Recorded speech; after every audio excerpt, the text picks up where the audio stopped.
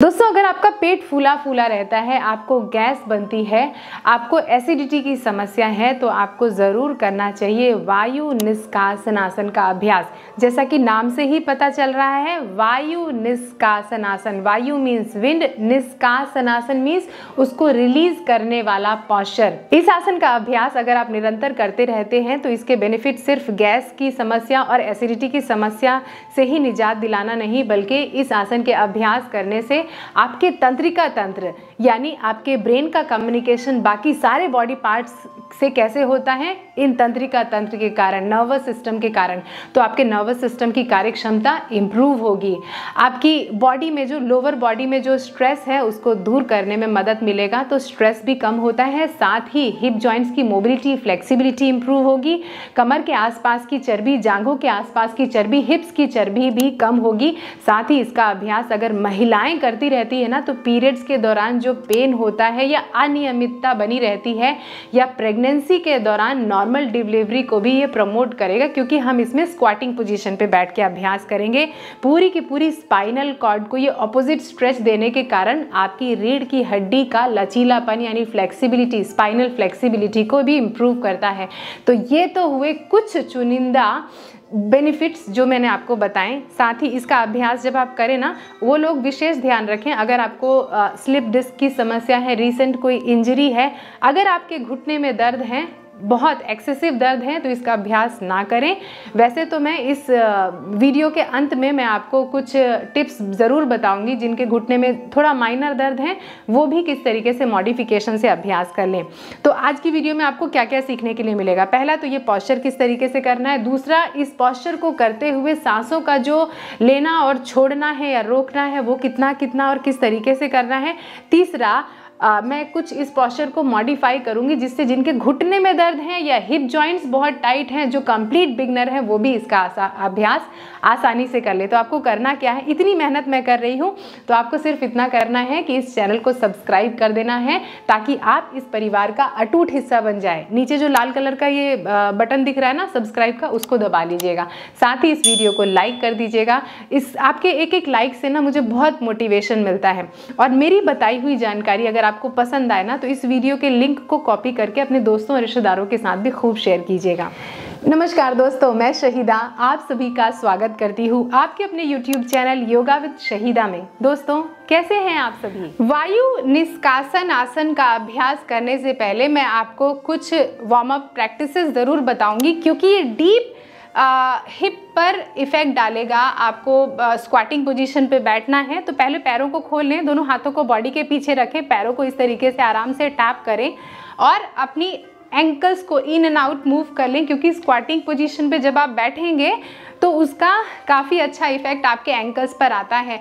और अगर शुरू शुरू में ना बैठ पाएँ तो ये सारी प्रैक्टिस ज़रूर कर लें। अपने दोनों पैरों को ऐसे पूरा 360 डिग्री घुमाएँगे क्लॉकवाइज और एंटी क्लॉकवाइज 15 से 20 बार अगर इसका अभ्यास आप करते रहते हैं ना तो पूरे पैरों पर मजबूती आती है। एंटी क्लॉकवाइज इस तरीके से। गोल गोल गोल गोल इस तरीके से ऐसे घुमाएँगे।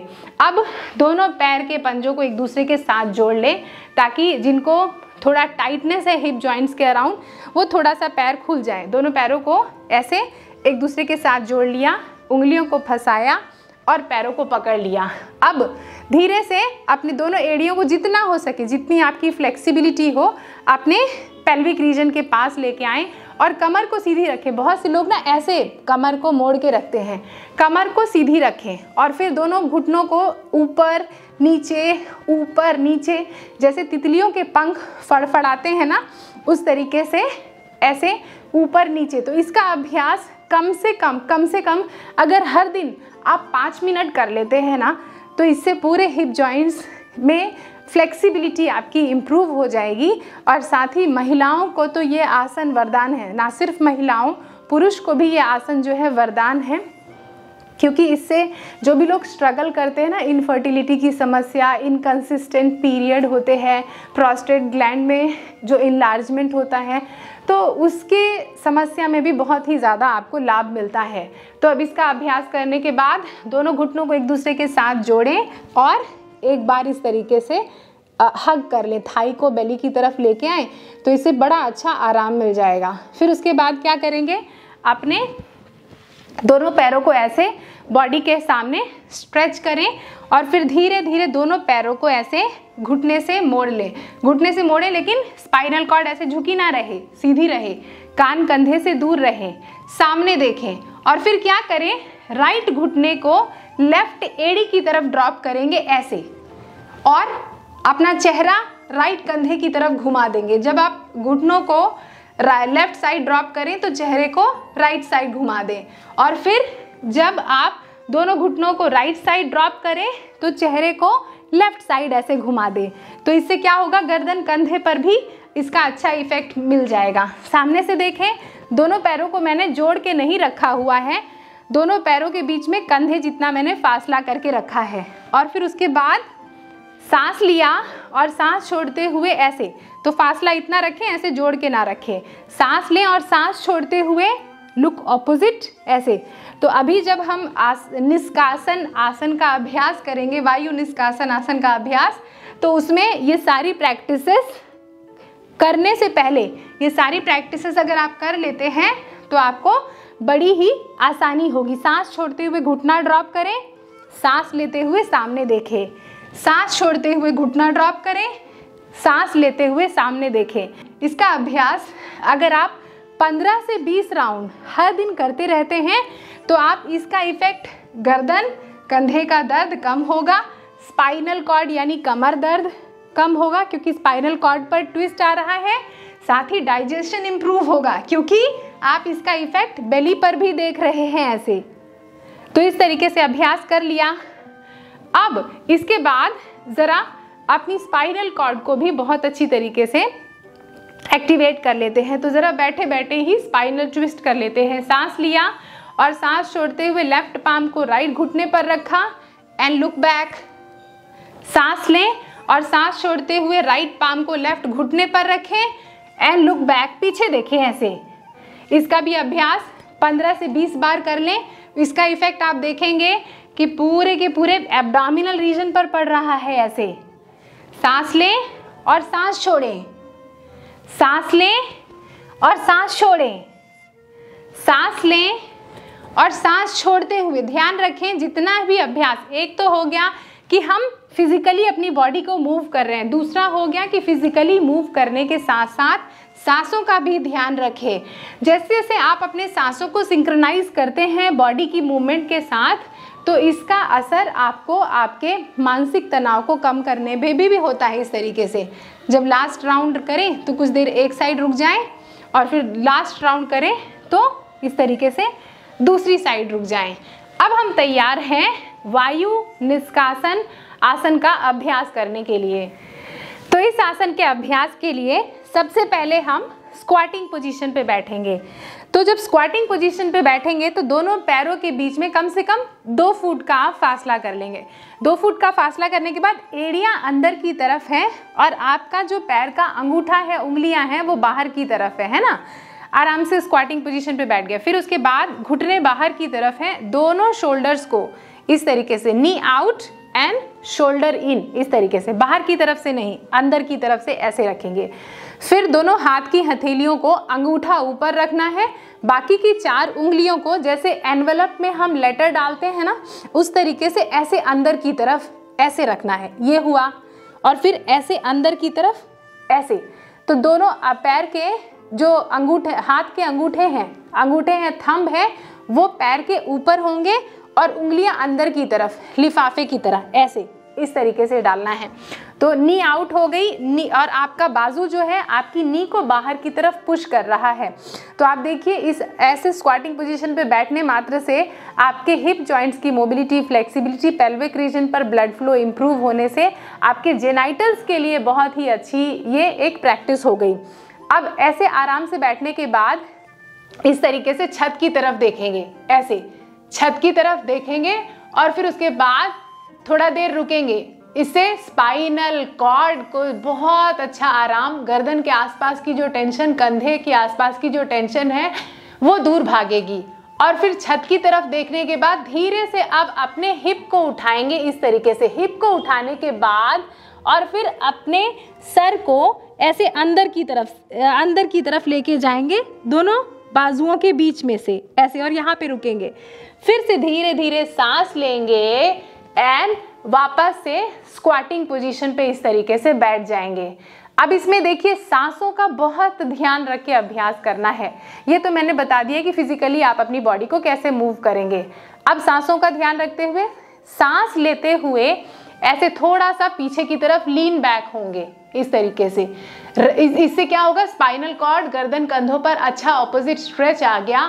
सांस लीजिए और सांसों को रोकिए। एक, दो तीन तीन काउंट तक रोका और फिर धीरे धीरे हिप को उठाइए और सांस छोड़ना शुरू कीजिए और जितना हो सके घुटनों को सीधा कीजिए, सांस छोड़ दीजिए और सांस छोड़ने के बाद रुकिए। एक, दो, तीन। फिर से सांस लीजिए और सांस लेते हुए ऐसे हिप को ड्रॉप कर दें और फिर से इसका अभ्यास पाँच से आठ बार करना है। सांस लीजिए। सांस ले रहे हैं और सांस लेने के बाद सांसों को रोकिए look up toward the ceiling one two three और सांस छोड़ते हुए स्पाइनल कॉर्ड को सीधा कीजिए हिप को अप कीजिए, घुटनों को जितना हो सके सीधा कीजिए और अपने सर को जितना हो सके अपने घुटनों की तरफ़ लेके जाइए होल्ड कीजिए. वन टू थ्री तो इनहेल फिर से स्क्वाटिंग पोजीशन पे आ गए। तो आप समझ गए? इसमें जब आप इनहेल करेंगे तो पीछे की तरफ़ ऐसे थोड़ा सा अपनी स्पाइनल कॉर्ड को सीधा करेंगे और फिर उसके बाद सांस को रोकेंगे रिटेंशन करेंगे, कुंभक करेंगे और फिर उसके बाद सांस छोड़ेंगे और सांस छोड़ने के बाद भी सांसों को रोकेंगे। फिर से ज़रा एक बार स्क्वाटिंग पोजीशन पे बैठकर वापस से देखिए। दोस्तों, अगर आप मेरी निगरानी में रह के योग का अभ्यास करना चाहते हैं तो आप सभी का स्वागत है मेरी ऑनलाइन योगा क्लासेस में। इन ऑनलाइन योगा क्लासेस को जूम के माध्यम से सुबह सात बजे से आठ बजे कंडक्ट किया जाता है। मेरी निगरानी में रह के जो मेरे स्टूडेंट्स हैं वो योग का अभ्यास करते चाहे वो देश में हो इंडिया में हो, चाहे इंडिया के बाहर हो जूम के माध्यम से सभी कनेक्ट होते हैं। अब मेरे स्टूडेंट्स को इन योगा क्लासेस से बहुत फ़ायदे हुए हैं। चाहे वो डायबिटीज़ की समस्या थायराइड की समस्या, मोटापा ज़्यादा बढ़ गया है वेट गेन करना चाहते हैं वेट लूज़ करना चाहते हैं, आपको पीसीओडी की समस्या हाई ब्लड प्रेशर है हाइपर की समस्या है। इंसोमनिया रात में नींद ना आने की समस्या है डिप्रेशन की समस्या एंग्जाइटी की समस्या, किसी भी तरीके का स्ट्रेस है। ओवर थिंकिंग बहुत ज़्यादा करते हैं ना। ऐसी और भी जितनी भी लाइफस्टाइल डिसऑर्डर डिसीज़ है, यकीन मानिए, उसमें योग आपकी बहुत मदद कर सकता है। और जब आप प्रशिक्षित योग गुरु की निगरानी में अभ्यास करते हैं तो आपको और भी ज़्यादा लाभ मिलते हैं। अगर इन ऑनलाइन योगा क्लासेस को आप ज्वाइन नहीं कर पाते हैं तो मेरे द्वारा डेवलप किए हुए कुछ कोर्सेज हैं। योगा फॉर बिगनर्स का कोर्स या प्राणायाम और मेडिटेशन का कोर्स ये कोर्स आप परचेज़ कर सकते हैं।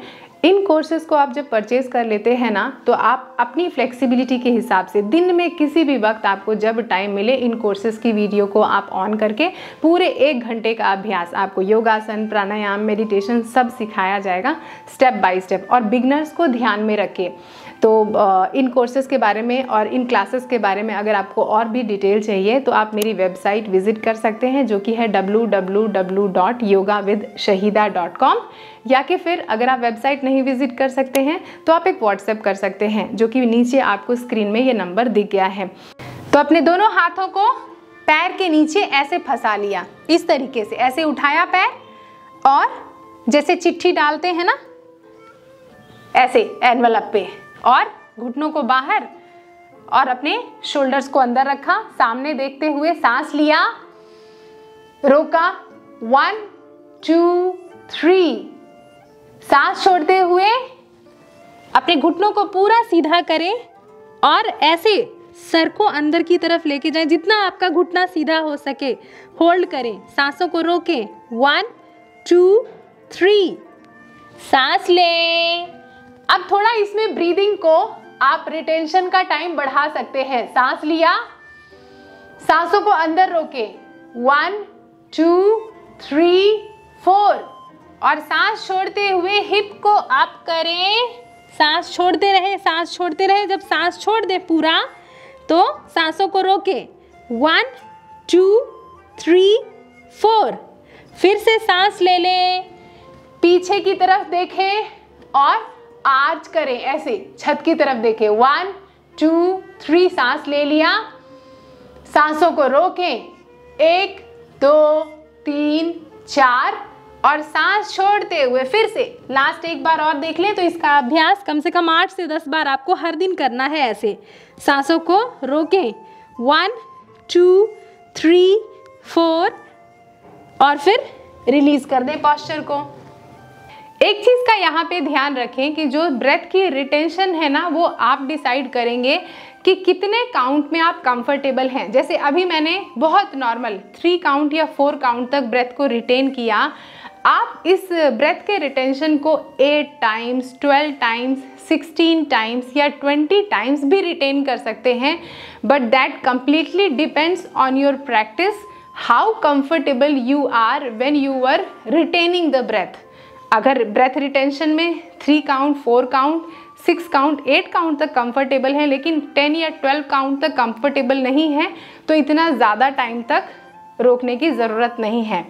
जैसे जैसे कुछ हफ्तों का अभ्यास आपको होता रहेगा, आप ज़्यादा से ज़्यादा अभ्यास करते रहेंगे, वैसे ही आपके ब्रेथ रिटेंशन का टाइम जो है वो बढ़ता जाएगा। लेकिन अगर हिप जॉइंट्स टाइट हैं, घुटने में दर्द है तो आपको एक छोटी टेबल लेनी पड़ेगी या आपके पास अगर योगा ब्लॉक हो तो योगा ब्लॉक पे फिर इसका अभ्यास करेंगे।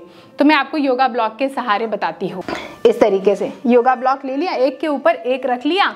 और अगर आपके पास योगा ब्लॉक नहीं है तो घर पे आपके आसानी से आ, टेबल होगी। टेबल नहीं है तो ईंटें रख लें लेकिन ध्यान रखिएगा कि आप गिरे नहीं।